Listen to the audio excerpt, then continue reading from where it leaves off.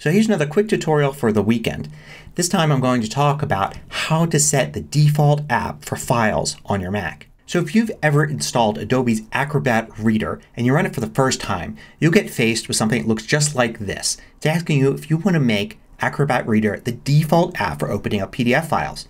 The default is yes and you may have simply just clicked yes or hit return and now the default app for looking at PDFs is Acrobat Reader. Now usually Preview is the default app for all PDFs and a lot of people don't realize what they've done once they've switched and how to get back. So Preview is still the default app for opening PDFs. If I open up this PDF right here you can see it opens up Acrobat Reader now. So you can actually open up any file in any app that supports it by control clicking or two finger clicking on a trackpad on the file and then choosing Open With. And you'll see at the top the default app. In this case it is Acrobat Reader.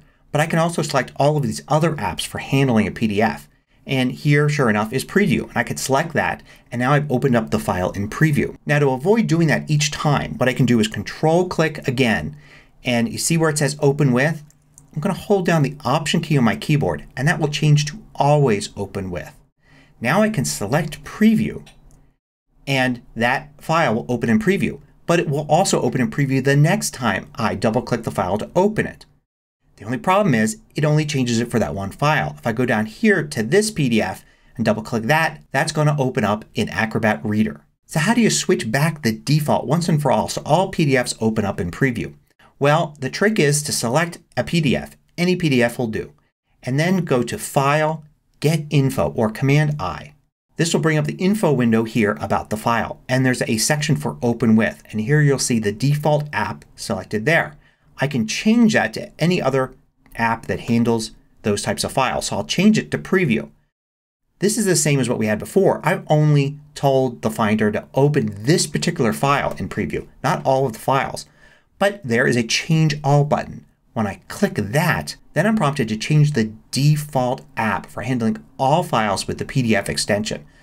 I hit Continue here and now I've done it. Now that file will open up in preview. The other one will open up in preview and completely different ones also will. I can double click on this one and it opens up in preview. I've undone what I did when I first ran Acrobat Reader. This works for any kind of file. Anything with a file extension you can control click on it, look and open with to see what the default app is and change it and also do Command I and change it for that file or for all files of that type. Now it helps to be able to see the file extensions for files when doing this. In Finder you can go to Preferences and under Advanced there's a checkbox here for Show All File Name Extensions. Once you have that turned on you can clearly see the extensions for all the files.